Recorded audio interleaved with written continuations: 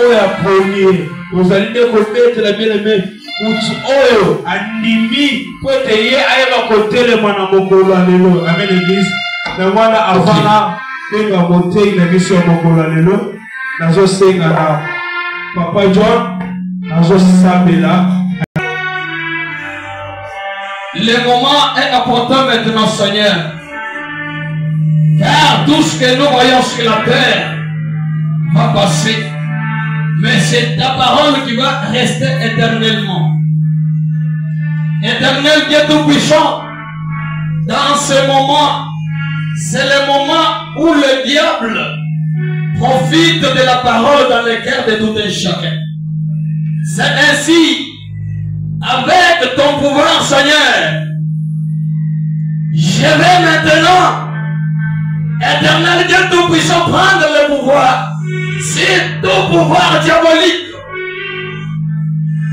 Tous les esprits démoniaques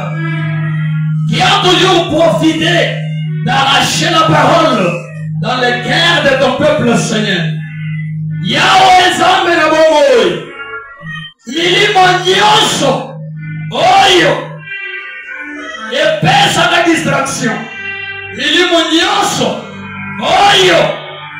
elongolaka liloba na mitema na bana na yo. miyimo nyonso ya monguna oyo etyaka baparole mauvaise na monoko ya motei nazotelemela yango na kombo na yesu dieu tout puissant que ta puissance descende maintenant parle avec le prédicateur d'aujourd'hui car c'est le fils de l'homme si toi tu n'as pas parlé dans sa bouche seigneur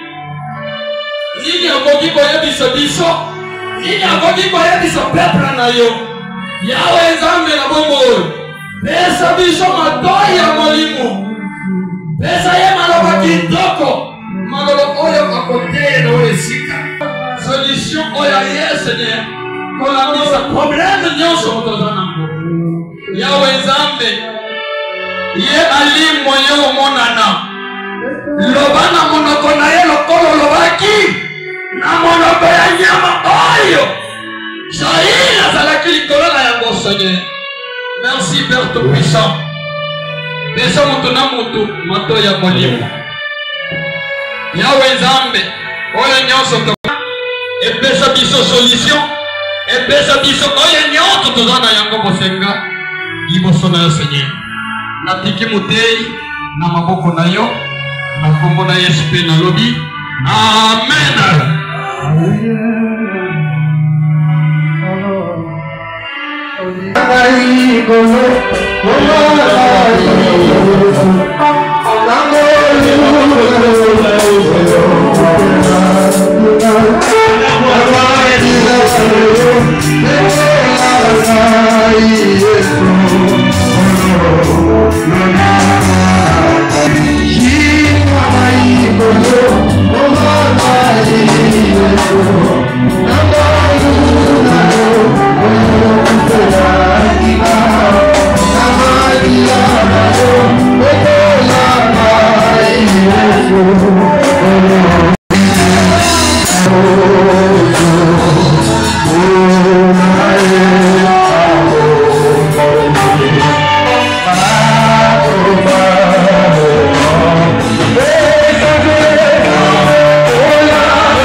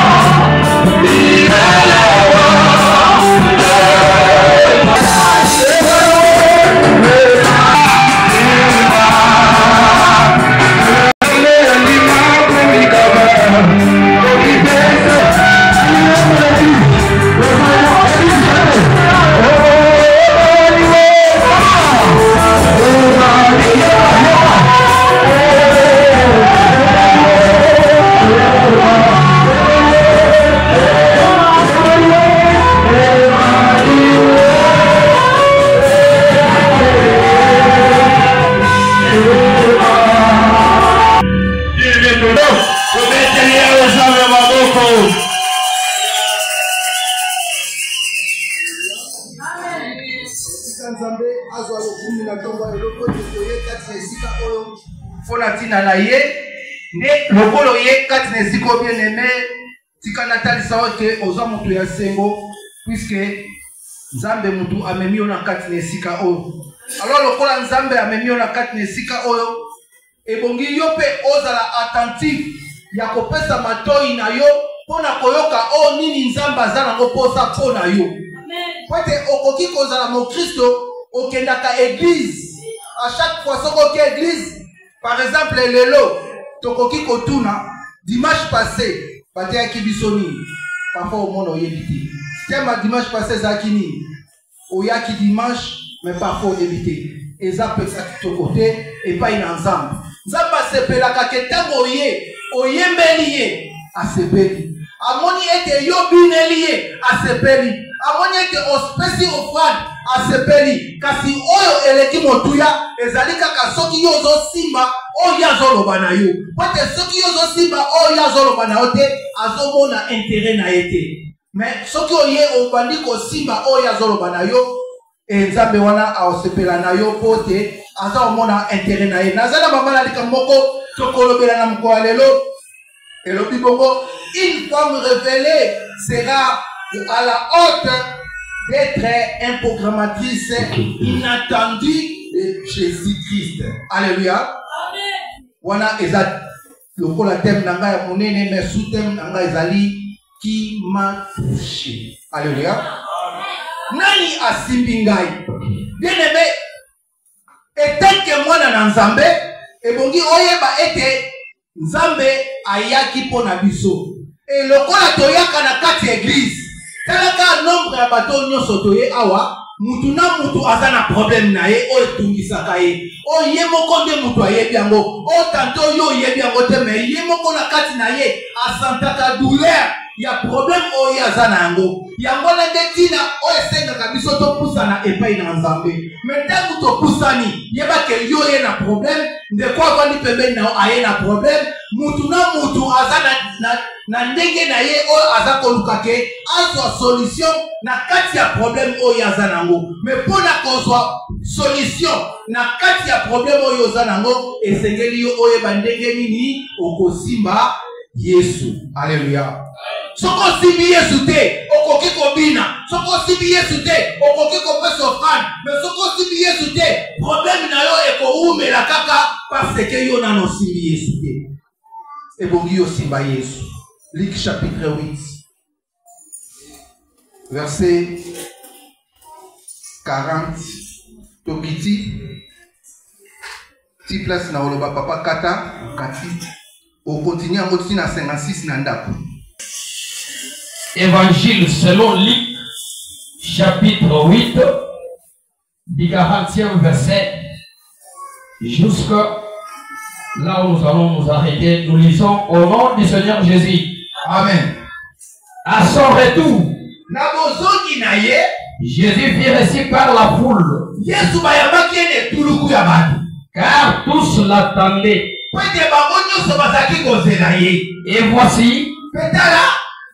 Il veut un homme. Mutu moko ayaki. Mais Jairus. Kombo na Jairus. Qui était chef de la synagogue. Azalaki mokonzi ya biyamba. Il se jeta à ses pieds. aye komibwaka na makolo na ye et le supplia d'entrer dans sa maison abondeli ye akota na ndako na ye parce qu'il avait une fille unique d'environ 12 ans pete azalaki na mwana moko ya mwasi azalaki na zomi na mibale qui se mourait azalaki ko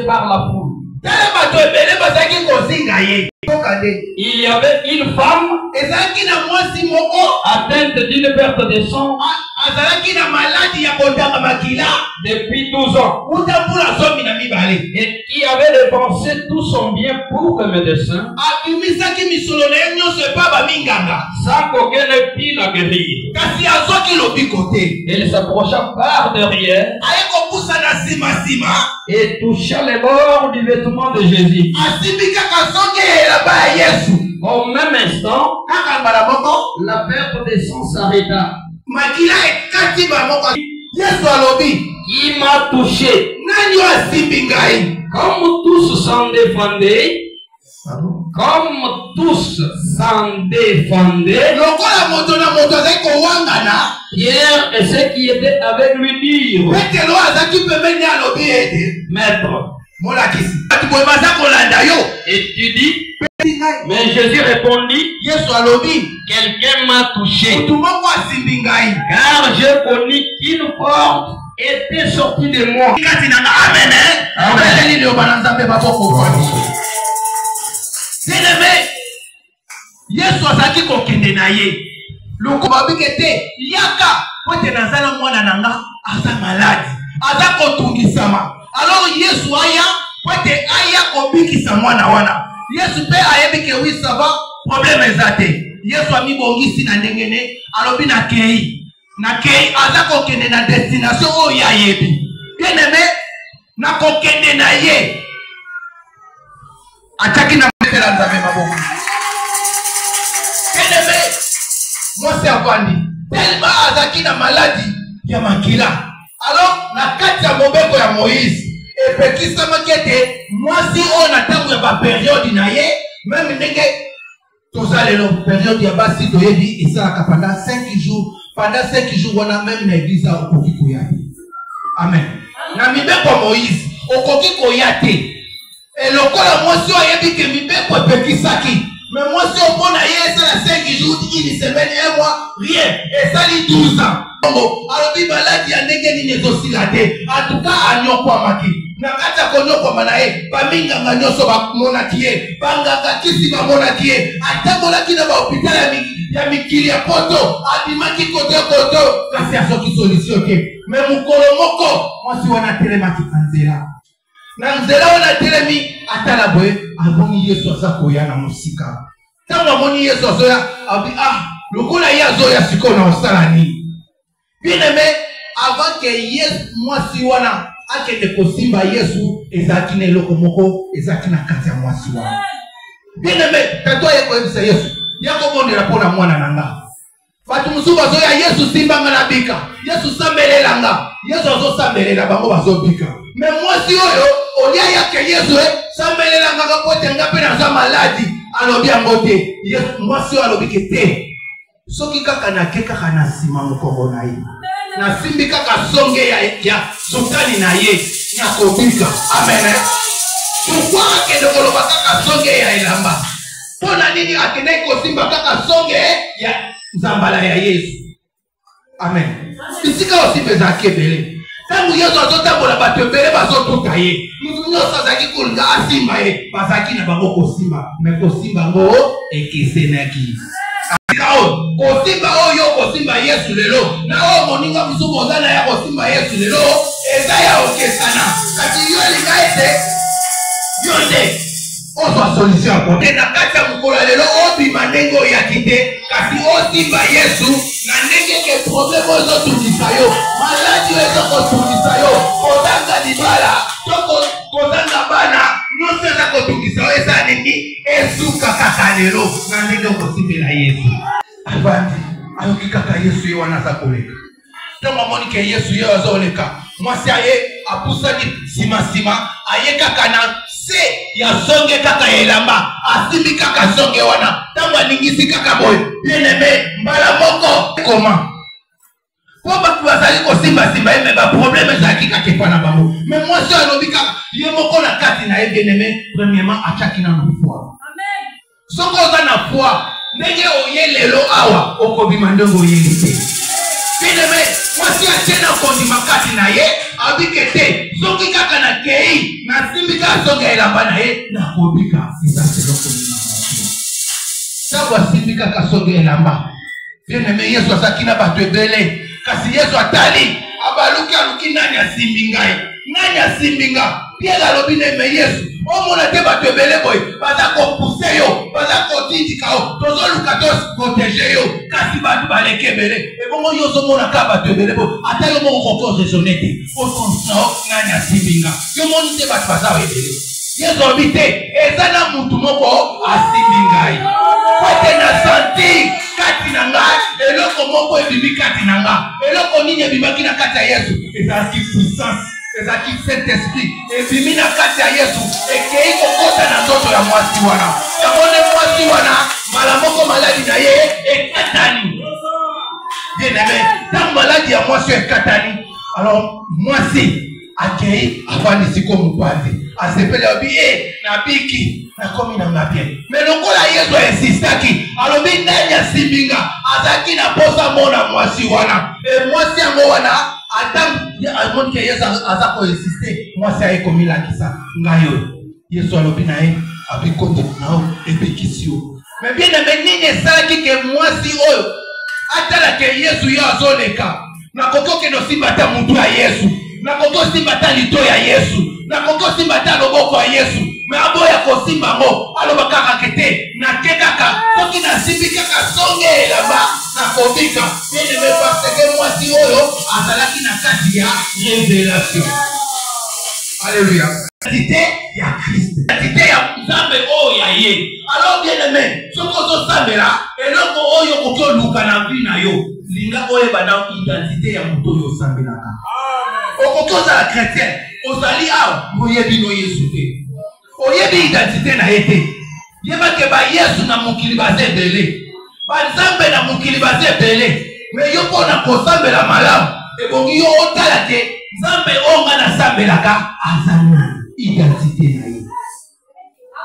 mwasi azalaki na kati ya revelation ayebaki yesu na kalite ya yesu ayebaki ke yesu aza nzambe ayebaki ete yesu azalaki nani mpo na ye alo lokola ayebaki ke yesu azalaki nani initile ya kokende mpa yesu aloba na ye sabela mpo na nga mpo te ngai nazwa nazwa solution alobaki kaka soki nasimbi nakobika mpe kosimba na ye mbala moko azwaki solution ya kati ya probleme ozaki kodukisa ye neneme eske yo kokoki koduka te osimba yesu na kati ya ntongo ya lelo mpo te solution ya vi na yo epesamela yo na esika ete okendaka koleka bato masolo to na esika ete yo ofandaka ozala sujet kasi olobi na yo moko kaka na kati no bolobi ke te ngai nayebi ete awa nazwi solution ya problème na nga nzambe amona yo papa ntango osimbi yesu ozwa solution ya problème na yo toya biso nyonso na kati ya eglise me yo problème ino ezowumela problème ino ezokokosila te pourkoi parce que ozoyeba kosimba yesu te soit ozotutana na yesu na kati ya bato lokola baza ebele kasi ozozwa solution ya problème no te mpo oyebi identité na ye te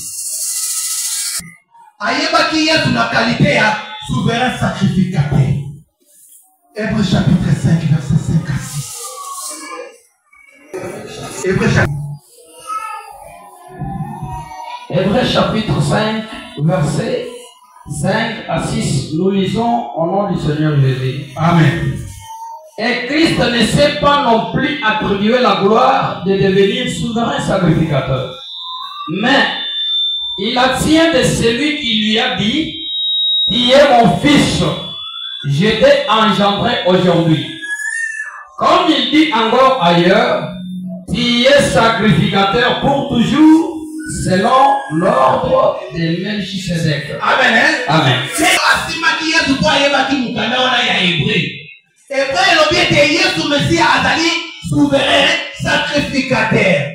Lokola aza souverain sacrificateur, mwasi ayebaki identite na ye etete souverain sacrificateur. Eloko epusaki ye alobi ete ngai nakoluka eloko mosusu te, ebongi nasimbaka asongi ya elamba. Soki nasimbi songi ya elamba, nakozwa solution. Pourquoi? Bien aimé. nzambe ayebisi moïse nzambe azosolola azo na moïse na mokanda ya exode chapitre 28 nzambe asololi na moïse azoyebisa moïse modele alobi basacrificatere bakozala na kati ya ndako ya nzambe basacrificateur bakolata barobe lokola oyo basacrificateur ntango okotongela bango robe boye na se ya robe awa esika mwasi akendaki kosimba yoka pourkui mwasi asimbaki esika wana nzambe ayebisi moïse awa na tout autour ya robe moïse asala nini aca baclochete clochette eza bangonga bangonga wana mike mike ezala tututu ya robe ya basakrifika pwete mwasi oyo azalaki kotanga bible bienemewagidena taye na bible tokola mosaki ko eza te ozelaka nini mpo osomba bible bible eza na 8000 francs Alléluia. mwasi oyo azalaki na revelation revelation eyaki mpo ya nini mpo azalaki kokangama na bible ayebaki bible malamu yango wana epesaki ye revelation alobi naza na ngai na ntina kosimba ye kote mosusu te naza na ntina te kama mikama ya maboko naza kaka na ntina kaka nasani nasimbaka asonga elamba puisque aza kotanga bible amen osomba bible mokoni tokomi ne amen eh? meshe okosomba ngo me meshe wana so okalkile motu na yo eleki deja pri ya bible me meshe wana okanga ngo kaka mpona deux semaine trois semaine elongwe amen sikoyo okosomba bible eh, mokolo nini mpo yo mpe ozwa revelation mpo ozwa connaissance ebongi osala nini osala effort banda siko soki obimi awa zwa decision ata sikoyo soki oza na 8000 franc biso avandi kuna liboso pesa ye yaka meki amen eh? mwasi oyo puiske azalaki kotanga bible lokola atangaki na exode ayebi ke nzambe alobi na moïse ete ntango kotonga banzambala na sututo tour ya nzambala tya baclochete to tya bangonga alo ntango okotya bangonga wana ngonga wana eza tina importance importance ya ngonga wana yango nde epesaki solution epa mwasi oyo akendaki nde kosimba ngonga oyo ezalaki na tuto tour ya elamba na ye oke epa bandeko ya katolike omona bango sikoyo ntango basango baokota bango sikoyo bazwi ngonga moko baokota ngleng ngleng bazokota ngleng ngleng ngonga ngo nde yango wana me sikoyo mpo baexplike yo yango pourkui ngonga wana elelaka bongo baexplika yango te bango bayebi verite ya ngonga yango wana bazwa ngonga wana bakoma osimba yango na maboko eh, bakota yango na ngle wana bamiselabe baza kokota balati basutani na bango me na sutani ezangi ngonga ngonga wana nde babengi yango clochete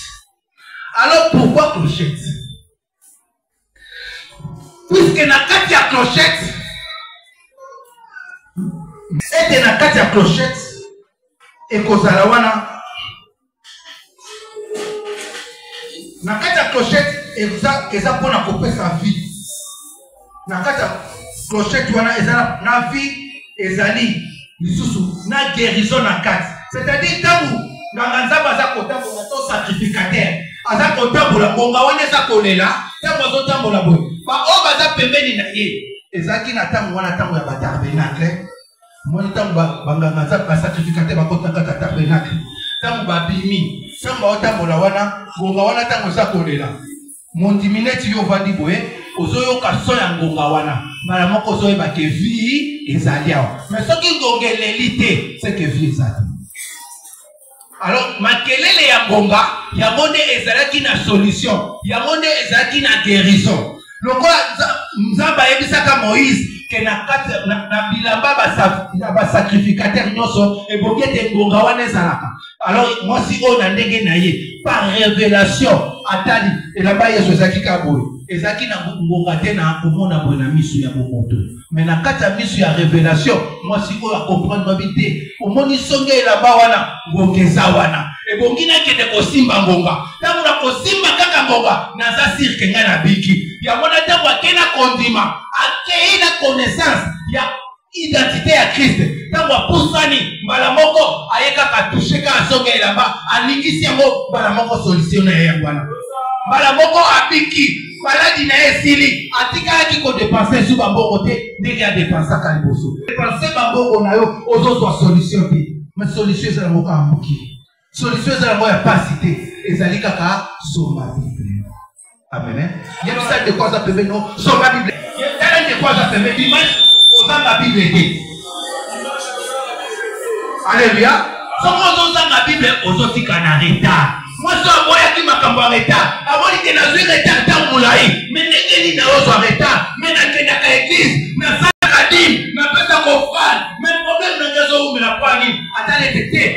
na ewumeli molai sikoyo ebongi kaka ngai nakende nasimba kaka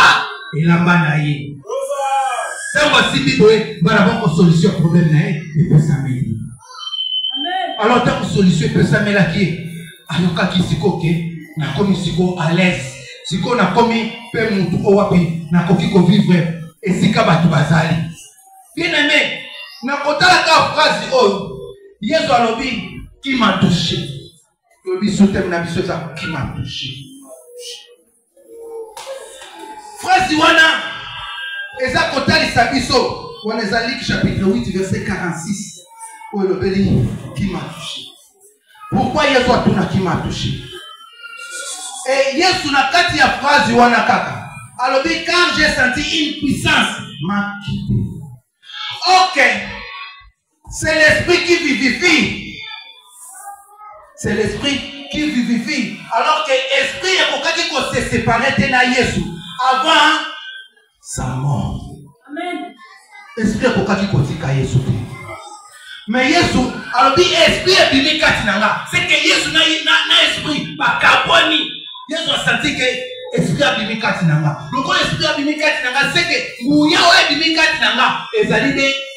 molimo na nzambe ebimi na kati ya yesu ok ezalaki impossible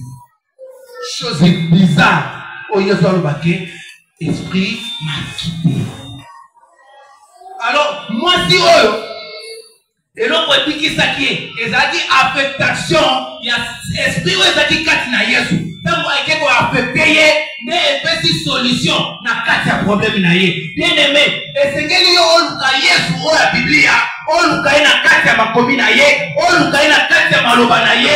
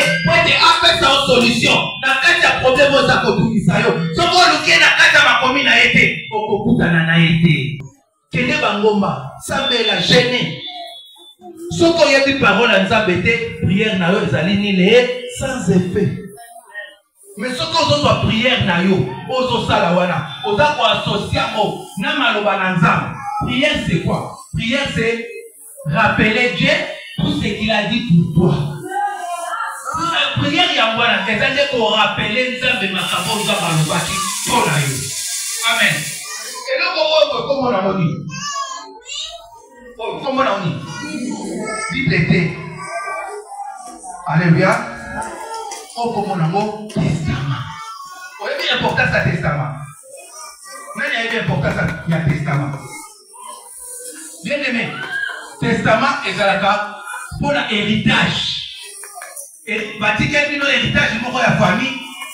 nkolo ya heritage wana asali testament alobi ntango ngai na kozala te tala moto yango akobenefisie na biloko na nga yeyo eneme lokola oyo eza testament eza malamu mpo na yo yo nde motu koluka testament ozala nango ntango oza na testament okoyeba ke te table nde nini akangi nga kobota soka na kati ya testament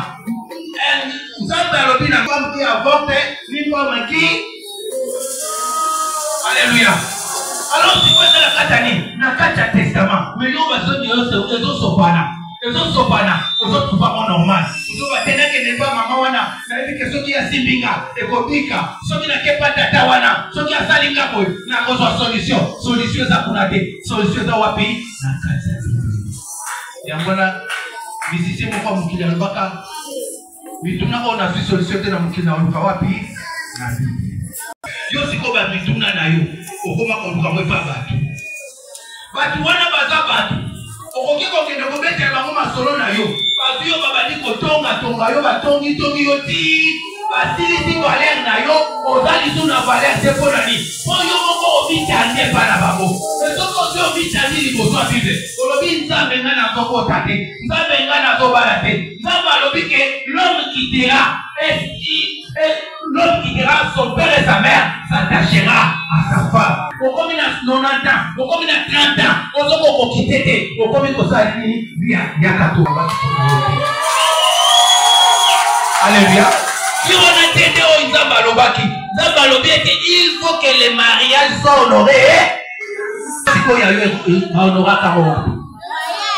amen eh?